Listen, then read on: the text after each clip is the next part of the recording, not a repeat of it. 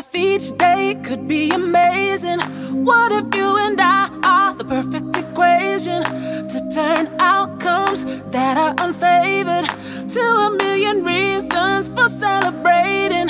What if there was no loss, only lessons? What if every breath is just a blessing?